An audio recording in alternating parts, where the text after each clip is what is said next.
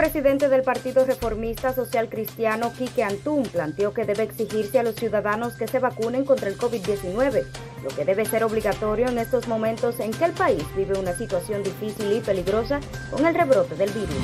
Continuando con el tema del COVID, los autobuses del Senado de la República transportaron este jueves de Corpus Christi a decenas de personas al centro de vacunación instalado en la explanada de la Cámara Alta,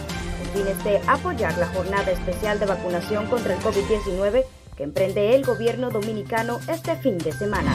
Mientras que en el ámbito internacional, la aerolínea Unit Airlines encargó al startup Boom Supersonic 15 aviones supersónicos, con los que renueva la perspectiva de viajes rápidos que dejaron de hacerse en el cese de operaciones del Concorde en 2003.